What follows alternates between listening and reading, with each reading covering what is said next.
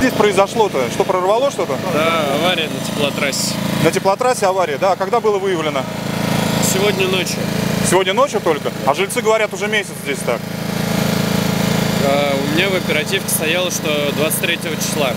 Ночью на теплотрассе. Там что, прорвало ну, трубу? Трубу. Диаметр какой? По оперативке 133. 133 труба, да? Это от- отопление, ну, не отопление или горячая вода? Что это? И то, и то. И то, и то, да?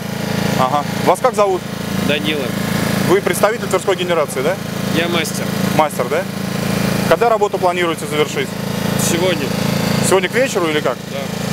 Спасибо. а, уже длится целый месяц. Мы просто не знаем, что делать. Мы все инстанции, все проходили. Ну, вы хоть плачь, вы представляете?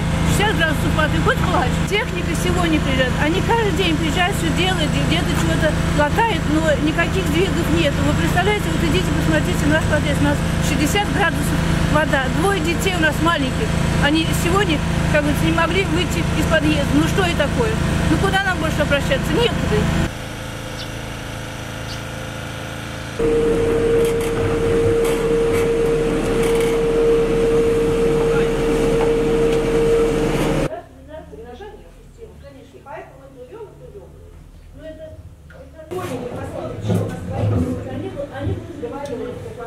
Да Вы знаете, мы уже не первый, не первый месяц, наверное, но не первую неделю точно. Мы просто не можем, задыхаемся. У нас пар, постоянно в квартирах стены все мокрые.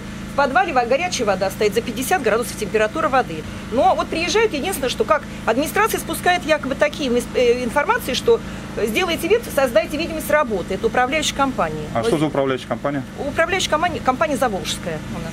И дети у нас маленькие здесь, я не знаю, что мы в результате то ли астма у нас будет, то ли что, мы не знаем. После 10 приехать откачать, пришлось бы МЧС. Ну, Сегодня ладно, в МЧС пришлось прорыв. обращаться, потому что невозможно было выйти. Вот эта лестница у нас лежала на ступеньках, и МЧСники детей переносили по этой лестнице, чтобы в детский садик выйти невозможно было. Ну, Пар, задыхаемся, вот двери постоянно открыты, я не знаю, что мы делать будем зимой.